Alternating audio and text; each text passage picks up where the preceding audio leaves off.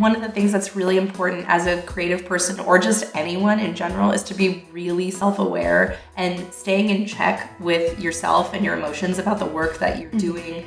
I'm not the kind of person that says that everyone needs to quit their day job and do what right. they love. I don't agree with that. Yeah. Because I think that day jobs can be amazing. Oh, and like if you give up on them too quickly, you're not exploring all the ways that you could like be in that very nurturing environment but optimize it for you, where you can't wait until you're broken to fix everything. You have to be staying in check and staying on top of it. And when you start feeling like things are not going the way they're supposed to be, that's when you need to be exploring other options. Mm-hmm. Because if you've already made it to the desperation point, right. that's when you're gonna make really rash decisions. Right. And when you're gonna do things like quit your job with no other, you know, options out yeah. there.